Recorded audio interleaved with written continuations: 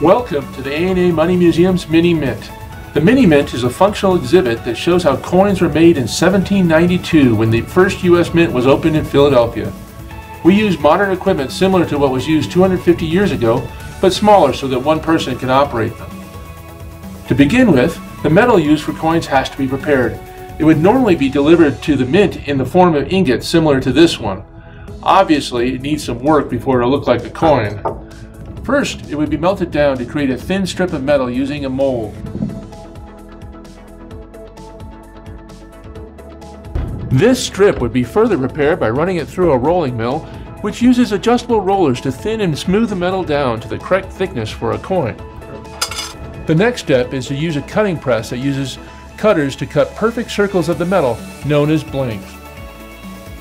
The leftover metal, known as a web, will be melted down and reused. At this point, we are beginning to see what our coins will look like, so now it is time to add the designs for our new coins.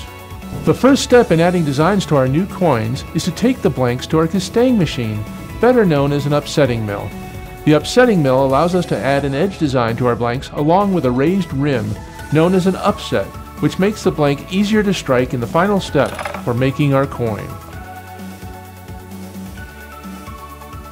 The striking press puts the final touch to our new coin by adding designs to the front and back of the blank, now known as the obverse and reverse. To do this, we place the upset blank